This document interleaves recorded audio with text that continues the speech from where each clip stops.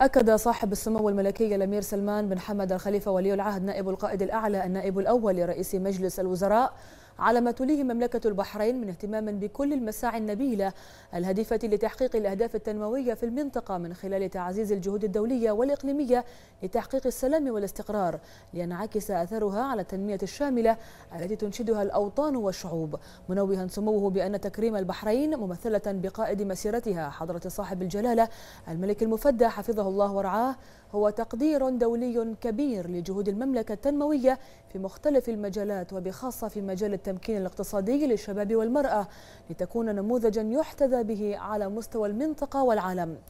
جاء ذلك لدى لقاء سمو حفظه الله مع سعادة السيد لي يونغ المدير العام لمنظمة الأمم المتحدة للتنمية الصناعية اليونيدو حيث هنأ سموه سعادة المدير العام بهذه المناسبة مشيرا إلى ما حققته المنظمة من نجاحات ملموسة طوال مسيرتها والتي استطاعت خلالها تحقيق أهدافها التنموية منوها سموه بالمشاركة الاستراتيجية بين مملكة البحرين ومنظمة اليونيدو والتي كان لها أثرها وبعدها على المستوى الدولي والتي من أهمها النجاح الكبير للنموذج البحريني لريادة الأعمال والذي طبقته المنظمة في أكثر من 48 دولة حول العالم إلى جانب مكتب ترويج الاستثمار والتكنولوجيا التابع لليونيدو في البحرين الذي يحتفى بالذكرى العشرين لتأسيسه مؤكدا سموه على أهمية أن ترتكز الجهود الدولية نحو تحقيق التنمية المستدامة التي هي إحدى أسس الأمن والاستقرار.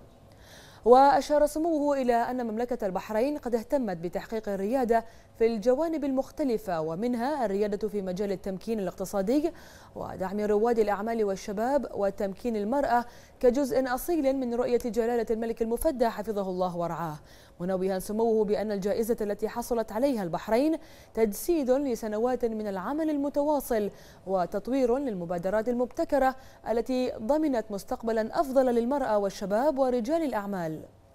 من جانبه أعرب المدير العام لمنظمة الأمم المتحدة للتنمية الصناعية اليونيدو عن تقديره البالغ للدور الذي تطلع به مملكة البحرين في دعم برامج وأنشطة المنظمة مشيدا برؤية جلالة الملك المفدى حفظه الله ورعاه وبدعمه لتمكين المرأة والشباب اقتصاديا ورواد الأعمال بشكل عام لافتا للدور البارز الذي يقوم به صندوق العمل تمكين الذي أسهم في تعزيز نجاحات نموذج البحرين لريادة الأعمال الذي طبقته المنظمة بنجاح في أكثر من 48 دولة ولاقى استحسانا كبيرا كأحد أبرز الشراكات بين البحرين واليونيدو معربا عن أمله في تحقيق مزيد من النجاحات المميزة بالتعاون بين المنظمة والبحرين خلال المرحلة المقبلة.